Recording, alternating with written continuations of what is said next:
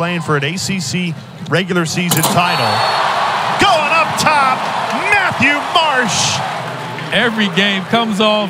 Don't jump with him. Watch ahead, head, Cormac Ryan. And one.